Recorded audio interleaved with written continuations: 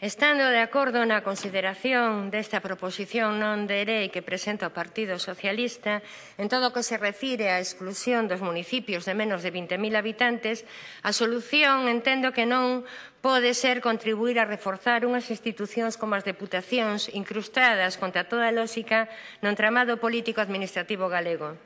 Se non fora suficiente a perda de competencias que as reformas das leis locais que obrigan os concellos pequenos a aumentar a dependencia das diputacións para a prestación de servicios ou para a súa privatización. Se non fora suficiente que dende sempre as diputacións absorban fondos que de non existir as diputacións deberían destinarse aos pequenos concellos achegándoos aos que perciben por habitante os concellos de máis de 20.000, aínda se propón que sexan tamén as deputacións as beneficiarias dos fondos europeos no período 2014 2020. Poderás argumentar que no pasado as deputacións xestionaron en algún caso con eficiencia fondos europeos, pero esta non é razón suficiente para que levamos moitos anos defendendo a desaparición das deputacións e o traspaso das súas funcións á Administración Autonómica ou ás comarcas, sempre pendentes de poñerse en marcha como unha Administración local supramunicipal congruente coa realidade social do territorio da nosa nación.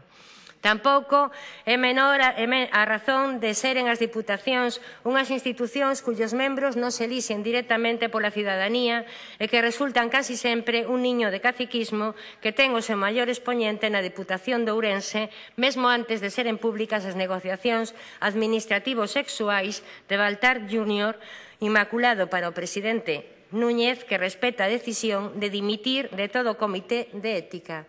Só faltaría que non a respetara.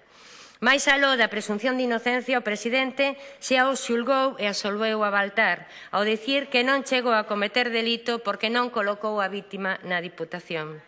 Só lle falta por decir que Baltar é un santo que resistiu a tentación dunha malvada muller, un Adán tentado por Eva, aínda cos artigos 443 e 419 do Código Penal digan que o delito se consuma co ofrecemento ou provesa.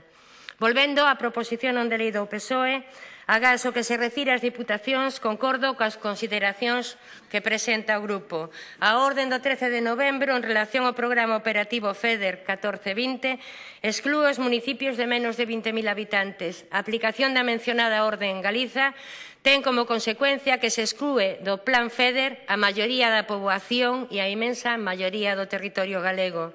Chega con decir que nas provincias orientais, exemplo dramático do devalo demográfico e exemplo da, de, do abandono da terra e da pouca xente que queda, só as dúas capitais de provincia, Lugo e Ourense, poderán beneficiarse destes fondos europeos se non se pon remedio á barbarie perpetrada pola ignorancia madrileña e o desleixo da Xunta de Galiza.